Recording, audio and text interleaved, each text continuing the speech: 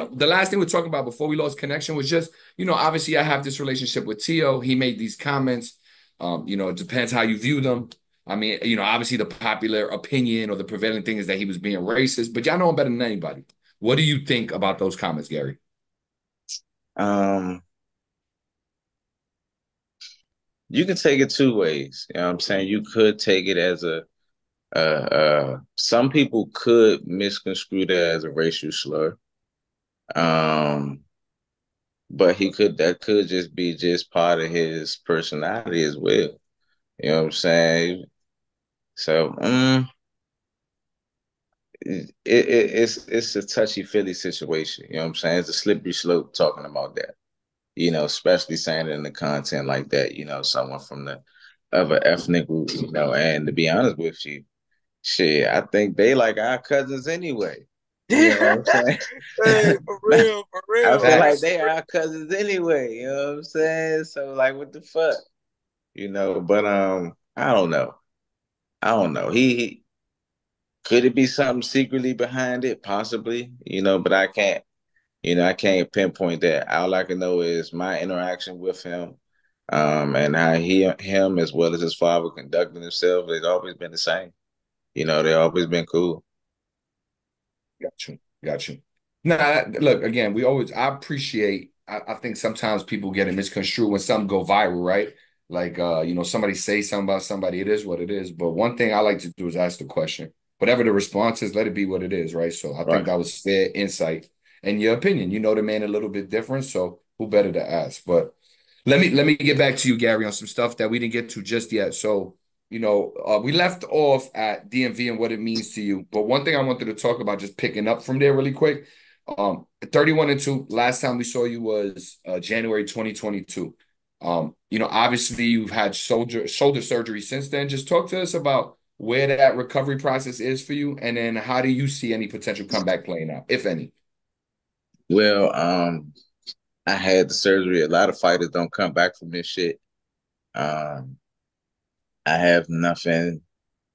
Uh, I've been working, you know what I'm saying? Where I've been rehabilitating my shoulder and stuff like that. Oh, damn, somebody calling. You good though? It's not messing up your connection though. You oh, it's not. Nope. You just oh, you like you're ignoring it. You good? I've been work. I've been working it, you know, and stuff and etc. Um, I'm still doing like my uh, strength training and physical therapy and stuff like that on it. You know, it's not a hundred percent. Um, so I've been trying like focus on my little brothers, getting them situated, you know, training them. You know what I'm saying? That's pretty much been my my plan so far. Thus far, anyway. Got you. Now, in and around your weight, I just want to lay them out for you and just get your thoughts. So I want at 135, you got Tank, you got Shakur, you got Berinchyk, you got um, you know, Loma, right? Former opponent of yours. They holding those belts. At 130, you got Navarrete, you got uh, Cacace, you got Lamont, and you got uh, Conceição. You know, he has a fight this weekend against O'Shaquie. It could very well be O'Shaquie again. If you were in a position to fight, if your shoulder was in a position where you can get in the ring, ideally, what's the path back for you? Is it 130? Is it 135? Is it one of those guys particularly? What do you what do you see as the way back? This just like some fantasy shit, right? Yeah, like, yeah, fantasy. Yep. Because um, obviously you just said right now you're still healing up. You work right, right, right. brothers. Um,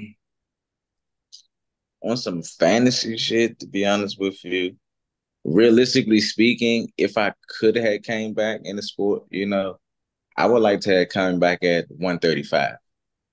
Um, 135 is where I wanted to, where I would have wanted to land at.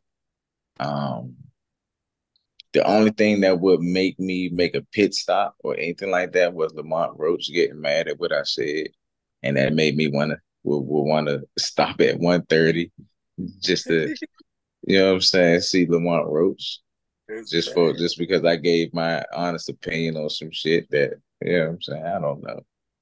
Um, but nah, realistically speaking, one thirty five. I would like I would like a fight with Tank. I would have loved to fight with Tank. Um, 35 is where it was being at. 35, I would want my motherfucking leg back with Lomachenko. I definitely want that one. That's a must. And then wherever the chips lay at that point, whatever the fans want, you know what I'm saying? Whatever the fans say they want, that's what what what would happen. You know what I'm saying? Got you. Well, we'll just have to wait and see because right now, just fantasy, right? So we'll yeah. see what happens. we'll see what happens. All right, let me ask you this because uh, one last thing that came out of our last interview was, uh, you know, I had actually some thoughts about Devin. You shared your thoughts, so I just want to ask, you know, you guys have noted history, right? The question I have for you first and foremost is where does I, I mean, if there's still dislike or any disdain, you know, why and where does it stem from? Or you're in a better place now? I don't get this. Don't, see, people get things misconstrued, man. People get your opinion once again. Um, I never had dislike for for Devin Haney, um, or anything like that of the sort. It was never a dislike. I have nothing personal with anyone in a sport. Is any of these fighters that's competing is nothing personal with me in any of these fights. Now they might feel some type of way because of some of the stuff I probably didn't say, you know, uh, towards them, like a tank, because I say I feel like he's a sucker, he's scared, he pick and choose who he fight. But that doesn't mean that I don't like him as an individual. We have static as an individual outside of the sport. Um, so nah, it's never a thing of me uh, uh disliking Devin or having an issue with Devin or anything like anything like that. You know what I'm saying? I think it's far. I think build a little motherfucking extra. You know what I'm saying? I think build a little extra. You know what I'm saying? But it was never a thing of disliking anybody. You know what I'm saying? And whatever they arrive at on their behalf, that's on them. Got you. Got you. Now, that was a fight that was rumored to have been made back in the day, but it didn't come to fruition. Can you talk about why? it was a whole bunch of bullshit with the contract.